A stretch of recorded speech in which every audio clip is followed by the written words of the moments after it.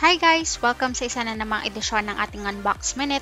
Ang bida natin ngayong araw ay walang iba kundi ang Ace 43 inches LED 909 budget TV. Kung natatandaan ninyo, nung nakaraan, ang binuksan natin is yung nakababatang kapatid nito which is ang Ace 32 inches. Tara at silipin natin kung ano ang pinagkaiba nito sa nakaraan.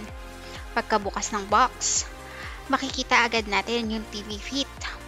Sunod ay ang styrofoam na nagpro-protect sa TV And ito yung TV mismo. Itabi lang natin ang box ng ating TV at simulan nating isa-isahin ang kasama nito. Kasama sa box, syempre ang remote control at may free battery. Hindi rin mawawala ang process manual at ang mounting guide.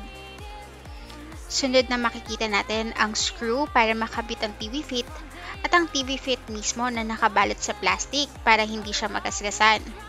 Dumako na tayo sa TV. Tanggalin lang natin ang styro wrap and there you go. Sa likod, makikita natin ang 2-pin outlet. At sa gilid naman ito, makikita natin ang kabitan ng mga cable like audio and video. And sa baba naman, ang kabitan para sa HDMI, VGA at USB socket. Para sa full specs, i-pause mo muna beshi. So there you have it. We just had a minute to unbox itong Ace 43 inches LED TV Huwag kalimutang i-like at mag-subscribe sa aming channel. Hanggang sa muli!